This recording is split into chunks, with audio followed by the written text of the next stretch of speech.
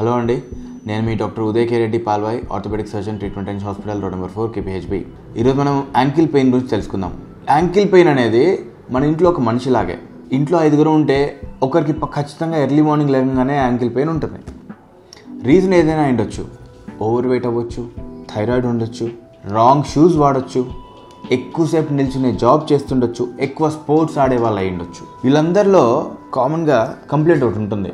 Night నొప్పి వచ్చి రావడం ఒక కంప్లైంట్ ఎర్లీ మార్నింగ్ లేవగానే నడవడం నొప్పితో నడవడం ఒక కంప్లైంట్. ఈ ఎర్లీ మార్నింగ్ నొప్పి రావడం గురించి తెలుసుకుందాం. ఎర్లీ మార్నింగ్ చాలామంది మీరు గమనిస్తే చాలా కామన్గా చాలా పదిలో ఇద్దరు ఖచ్చితంగా ఉండే కంప్లైంట్ ఏంటంటే లెగంగానే కాలు కింద పెడితే నొప్పి పెడుతుంది.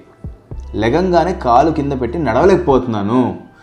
నడిచాక ఒక అర్ధ గంట గంట నడిస్తే మళ్ళీ తగ్గిపోతుంది. ఇది టిపికల్ అండి ప్లాంటార్ ఫేషియటిస్ అంటాం దాన్ని. టిపికల్ ఆఫ్ ప్లాంటార్ ఫేషియటిస్ అంటే ఏం లేదండి. ఇది మన పాదం అనుకోండి. ఇది వేళ్ళు ఇది మడిమ ఓకే? ఇక్కడ ఇక్కడ ఒక పట్టీలాగా ఒక ఫేషియా ఇలా ఇలా అటాచ్ అవుతుంది.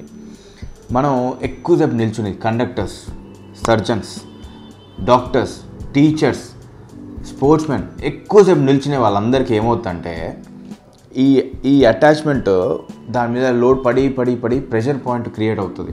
ఈ ప్లాంటర్ ఫిష్ అనేది ఇలా వెళ్ళి ఇక్కడ క్యాల్కినియం అనే బోన్కి అటాచ్ అయ్యే దగ్గర ప్రెషర్ పాయింట్ వచ్చి డ్యామేజ్ అవుతుంది. ఇన్ఫ్లమేషన్ రెస్ట్ ఇస్తే తగ్గుతుంది. కానీ మనం రెస్ట్ ఇవ్వలేంగా మన లైఫ్ నడవాలిగా?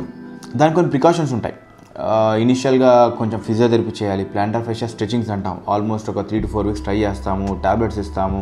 చాలా రకాలు ట్రై చేస్తూ ఉంటారు. బట్ చాలామందికి హండ్రెడ్ పర్సెంట్ రిలీఫ్ రాదు. రీజన్ ఏంటైనా ఓకే కానీ హండ్రెడ్ పర్సెంట్ రిలీఫ్ అనేది చాలా చాలా రేర్. టైం టేకింగ్ చాలా టైం టేకింగ్. అండ్ కొందరు ఏంటంటే wrong shoe hard foot wear వేసేసుకుంటారు బాగా హీల్ వేసుకుంటారు.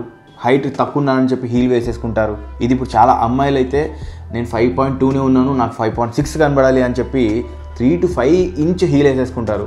అవన్నిటి వల్ల మన ప్లాంటర్ ఫిష్ అనేది డ్యామేజ్ అవుతుంది. సొల్యూషన్ ఏంటి? Platelet rich plasma. మనం పిఆర్పీస్లో మన చేతుల్లో నుండి వీన్స్లో నుండి బ్లడ్ తీసి సెంట్రిఫికేషన్ అనే మిషన్ ద్వారా సెంట్రిఫ్యూజ్ చేసి ఒక మళ్ళీ five to eight ML concentrated blood తీసి దాన్ని మళ్ళీ మనకి ఇంజెక్ట్ చేస్తాం. ఎక్కడ ఇంజెక్ట్ చేస్తాం? ఎక్కడైతే డ్యామేజ్ అయిందో ఆ డ్యామేజ్ అయిన కరెక్ట్ ఈ ఫేషియా ఇక్కడ అటాచ్ అయిందని చెప్పాను ఇందాక. అటాచ్ అయిన దగ్గర దాన్ని ఇన్ఫిల్ట్రేట్ చేసేస్తాం. మిరక్లెస్ ఏం కాదండి మంత్రాలు ఏం లేదండి. చాలా సింపుల్ ప్రొసీజర్ మన రక్తం తీసి మనకే ఆ పాటకు ఎక్కిచ్చేస్తాం. పిఆర్పి అక్కడ ఎక్కిస్తే ఏమవుతుందంటే డ్యామేజ్ అయిన ఆ ఫేషియా ఏదైతే ఉంటుందో ఆ పట్టి ఏదైతే ఉంటుందో అది హీల్ అవుతుంది. కొత్త కొత్త బ్లడ్ వెజల్స్ వస్తాయి. కొత్త కార్ట్లేజ్ కొత్త టిష్యూస్ క్రియేట్ అవుతాయి. అయ్యి మనకి ఒక వన్ మంత్లో ఆ డ్యామేజ్ అయిన పార్ట్ అంతా హీల్ అయిపోతుంది. హీల్ అయిపోయాక మీ కాలు మీదే.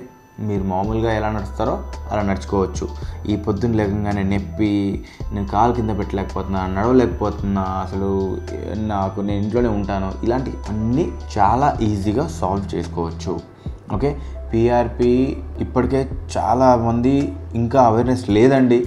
చాలా క్యాజువల్ నార్త్ ఇండియాలో అంతా అయితే డైలీ ఓపీడీ ప్లేసెస్లో చేసుకుంటున్నారు ప్రతి చేస్తూ జస్ట్ అలా అలా ఇంజక్షన్ తీసుకుని వెళ్ళిపోతున్నారు. మనం చాలా వెనుకబడి ఉన్నాము. మనం కూడా ఈ చిన్న చిన్న ఇబ్బందులతో లైఫ్ ఆగిపోకుండా ఈ ప్లాంటర్ ఫెషియటిస్లు ఈ మోచేయి నొప్పులు మోకాల నొప్పులతో ఇబ్బంది పడుతూ ఇబ్బంది పడుతూ ఈ నొప్పిని భరించాల్సిన అవసరం అస్సలు లేదండి.